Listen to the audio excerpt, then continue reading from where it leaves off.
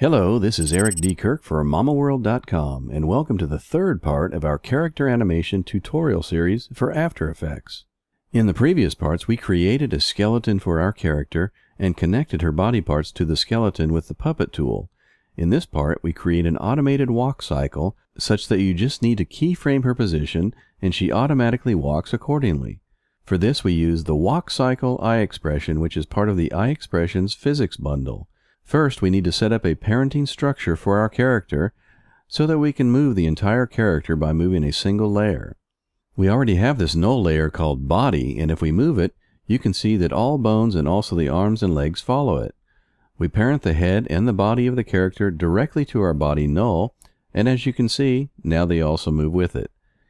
Then we parent the buggy to the hand goal so that it moves with our hand, no matter how we move it. Finally, we parent the two rods of the buggy to the buggy and the wheels to the respective rods. The wheels also have additional layers for the white highlights. Hence, we also parent each of these highlight layers to the respective wheel layer. As a result, we can now move the hand and all parts of the baby buggy follow. However, if we raise the arm, you can see that the hand does not stay connected to the baby buggy accurately. We can fix this by adding another puppet pin to the skinning we created in the last part. For this, we rotate the hand bone in place, create a new null layer named Hand Extra Null, and place it where the hand touches the buggy. Then we parent it to the hand bone so that it moves with our skeleton. Now we scale down the null so that we cannot confuse it with the hand goal null.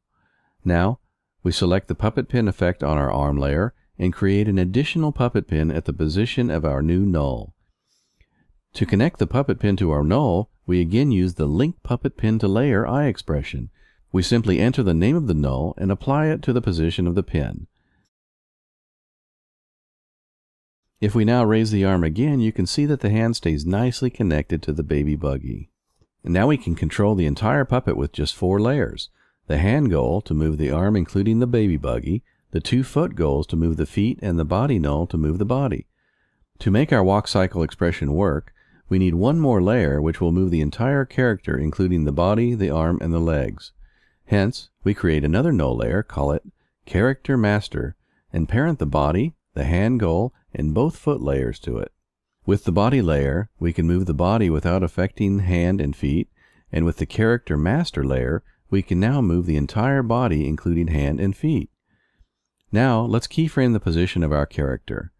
At frame 0, she should be at the left of the comp, and 3 seconds later, she should be at the right.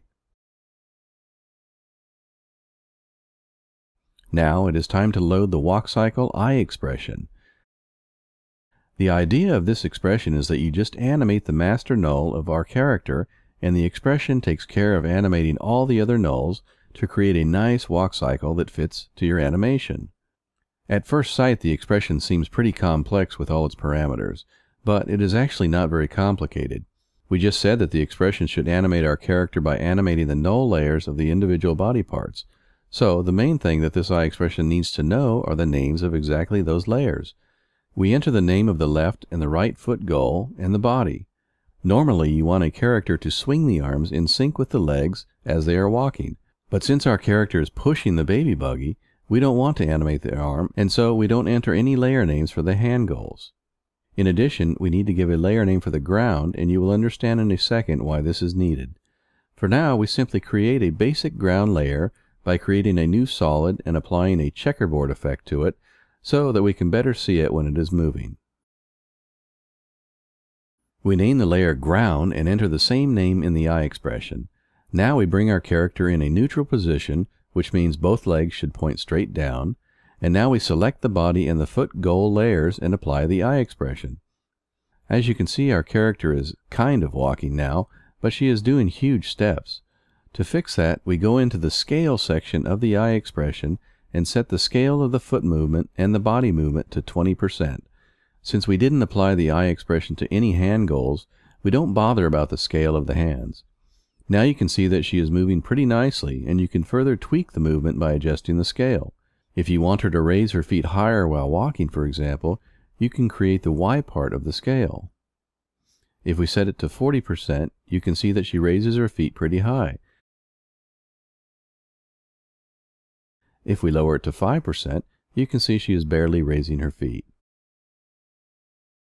If you want to play with different settings, it is a good idea to enable the Auto Apply button. Normally, we need to select the layers and click Apply after any change we do in the iExpression settings. But if we select the layers and enable Auto Apply, the expressions are automatically updated whenever we change a parameter. So let's set the foot movement scale back to 20 and set the Y scale of the body movement to 80. Now you can see that the body seesaws up and down significantly while she is walking, but we prefer a more subtle effect here and set the body movement back to 20. Let's summarize what you've learned about the walk cycle iExpression so far.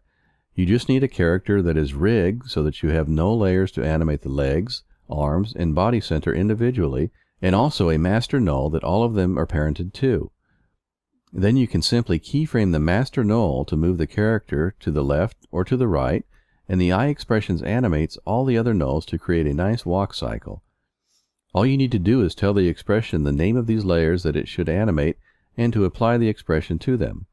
You can fine-tune the style of walking by experimenting with the scale parameters. Now, what about this mysterious ground layer? Well, sometimes you want to move the ground instead of moving your character. During the first three seconds of the composition, we've keyframed our character master null to move our character, now let's say from second 4 to 5 we keyframe the position of the ground.